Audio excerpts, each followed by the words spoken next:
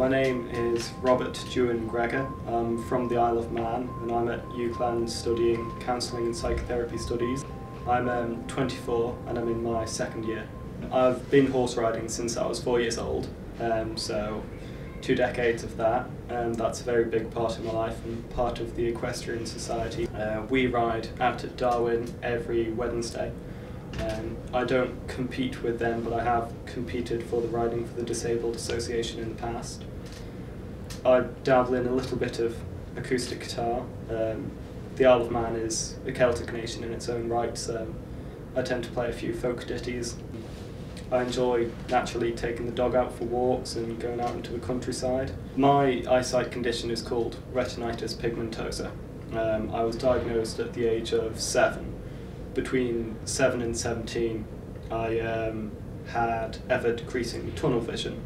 At the age of 17, I lost vision in my right eye. I'm 24 now, and I can see where certain lights are, spots of light are in a lecture theatre, but I can't see people all blurs into a yellow fog. Um, up until the age of 20, I was using a white cane, um, a long mobility cane, I'd been on the list for a guide dog for two and a half years, um, and it was three days after my 20th birthday I met my first guide dog, Wilma. She was a um, full retriever, gorgeous little dog. She was here last year. Unfortunately, last March she um, developed pancreatic cancer and had to retire. So this down to down there, um, she's guide dog Mark II, and uh, she's called Angel or Angel Cake, Angel Face, Cake Face. Asbo, I also refer to her as um, hound beast animal, they all work. She's an absolute little star. She's two and a half. Um, guide dogs are usually trained just around their second birthday and trained off with an owner. Um, so I've been working with her since July, so just over six months now. And uh, she's loving life in Preston. Um, yeah, she knows her way to um, Harrington and Brook, which are our main lecture buildings knows her way downtown. Um, she's doing really well. Angel's personality is completely different to Wilma's. Um, I I have ADHD, so there are times in my life where my mind runs a million miles a second, and the matching with Wilma was so perfect because Wilma was calm, she was placid, she was very much refined and very much a lady. Um, she's complete enough to contrast to Asbo down here. Um, when Angel is kind of not being a guide dog, when she's having her free time, she's just absolutely full of beans.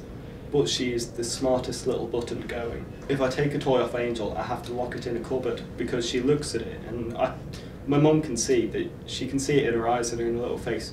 She's thinking and calculating how to get to that toy. Um, she figures out how to bust open stair gates and things like that. Um, and she's just she's just such a clever little dog, and she's very much a water dog. So she spots the biggest, muddiest puddle and heads straight for it. the university have been absolutely perfect. I can't fault the university. I came to an applicant today here, um, and I was in Foster Building, and I don't know who exactly it was that we were talking to, um, but we were kind of talking to them, and I kind of said, blah blah blah, guide dog. And they said, we will move a spending pen to your halls of residence. Oh, that's perfect, I said. Will there be somebody on hand to help me clear up after her? And she said, no. Ground staff will do that for you. Um, which was absolutely, it was fantastic. They had all the answers, they knew all the questions. With the other universities I applied to, I always was a sense of, yes, we will do that. UCLan just sat there and went, we've already done it, we'll do it again. My lecturers, they were all quite happy to see me and Angel sat there in lessons. They engaged with me fully. Um, all of my um, all of my peers on the course respect the general rules with guide dogs, and those are that when she's wearing her reflective harness, that she is working, and that is her in working mode, and that is her keeping me safe.